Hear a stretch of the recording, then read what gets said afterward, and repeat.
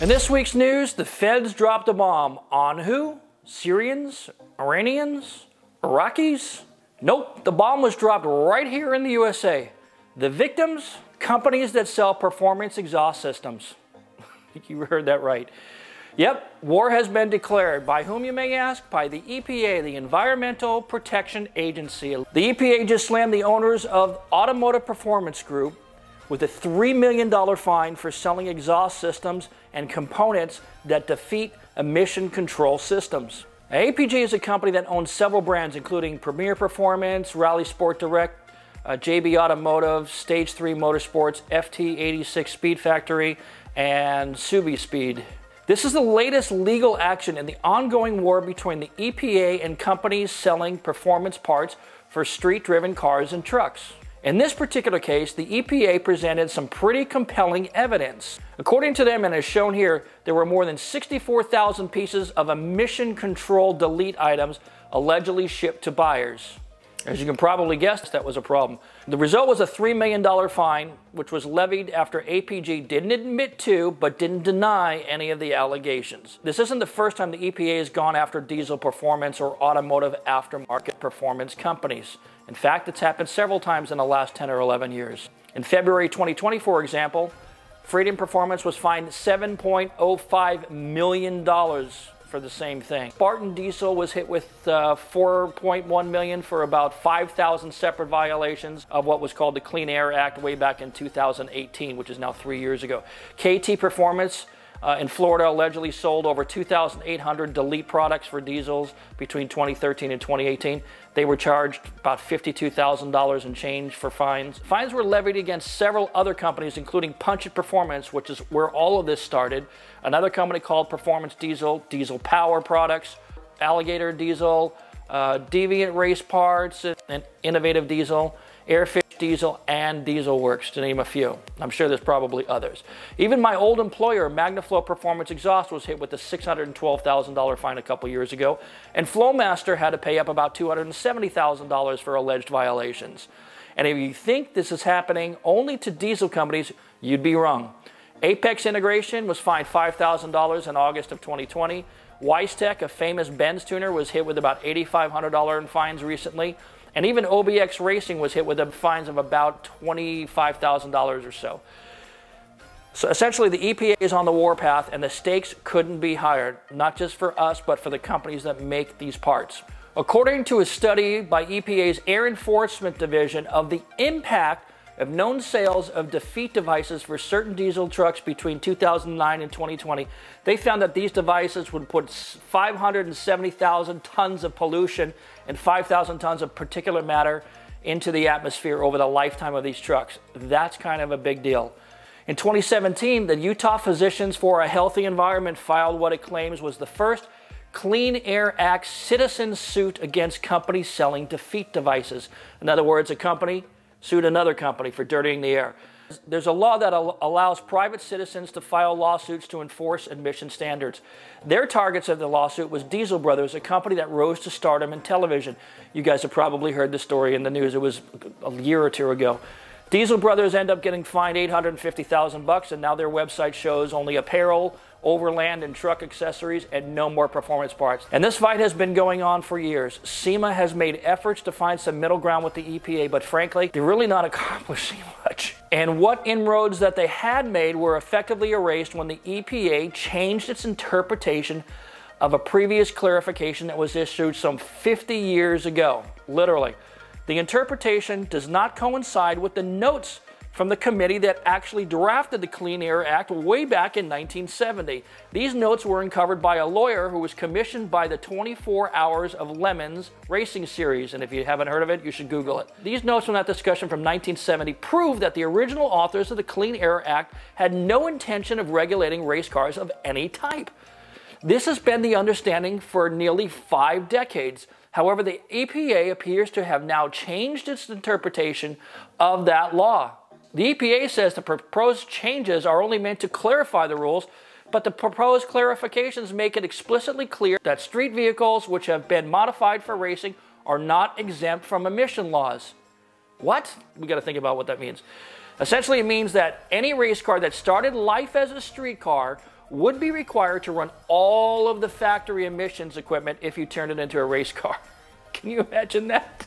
Let me be even more clear. What I'm saying is that under the new interpretation, it essentially means that all race cars that use engines from production cars are now effectively illegal. The EPA is not even shy about this new distinction. And if you read this, quote, existing regulations are already explicit and clear that the off-road exemption is not available for motor vehicles.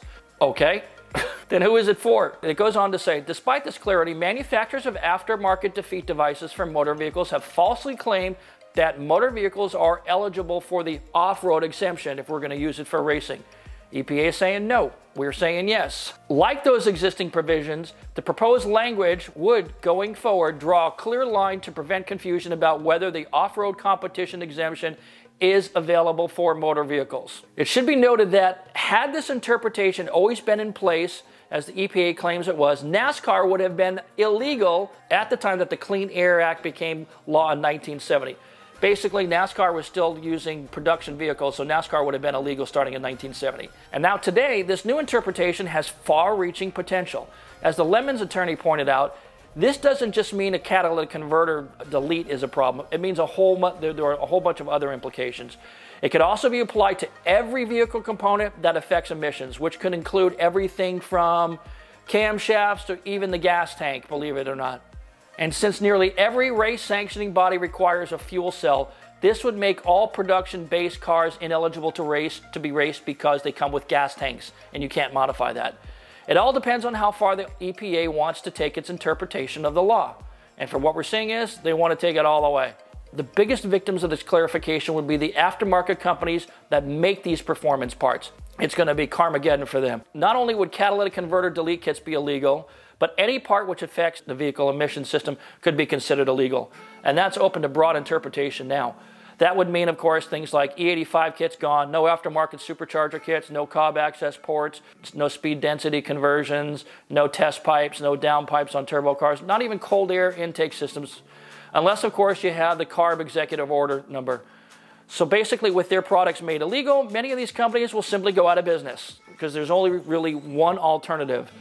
The only thing that these companies can do to stand a chance of survival is if and only if they have the necessary resources to recertify or certify all of the parts with an authority like the California Air Resources Board, so you get that little EO number that's stamped on every part and has to be displayed under the hood of your car. What that effectively means is that most of the hot rodding and tuner world, specifically the small to mid-sized companies which make up much of the aftermarket, will simply be regulated out of business if the EPA carries out its enforcement activities far enough. The EPA has been on a mission to clean up the air for decades. I don't think that's a secret to anybody, certainly not to, certainly not to anybody who lives in California.